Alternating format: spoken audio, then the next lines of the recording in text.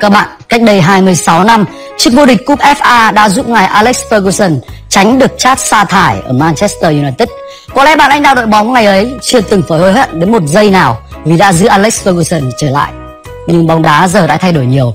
Một chiếc cúp FA có lẽ không đủ để níu giữ niềm tin và hàng loạt tờ báo của Anh chiều nay đưa tin Manchester United đã sa thải huấn luyện viên Luis van Gaal chỉ 2 ngày sau khi ông mang về chiếc cúp FA thứ 12 với phong truyền thống của đội bóng. Thông tin huấn luyện viên Luis van Gaal bị sa thải được truyền thông Anh Quốc đưa tin khá rầm rộ. 7 giờ tối theo giờ Việt Nam ngày hôm nay, ban lãnh đạo câu lạc bộ Manchester United đã tổ chức buổi họp báo với sự có mặt của Luis van Gaal và luật sư của ông. Tất cả những gì đang được chờ đợi có lẽ chỉ là tuyên bố chính thức từ phía câu lạc bộ Manchester United. Cuộc chia tay giữa vị chiến lược gia người Hà Lan với MU diễn ra chỉ 2 ngày sau khi đội bóng này vô địch cúp FA.